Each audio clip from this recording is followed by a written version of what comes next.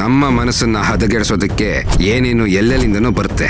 ಆದ್ರೆ ನಾವು ಬಾಳೆ ಮರದ ತರ ಇರ್ತೀವೋ ಅಥವಾ ಆಲದ ಮರದ ತರ ಇರ್ತೀವೋ ಅದು ನಮ್ಮ ಕೈಲಿರುತ್ತೆ. ಜನನಿ ಲೈಫ್ನ ಹೇಗಾದ್ರೂ ಮಾಡಿ ಚೇಂಜ್ ಮಾಡೇ ಮಾಡ್ತೀನಿ ನೋಡ್ತಾ ಇರೋ.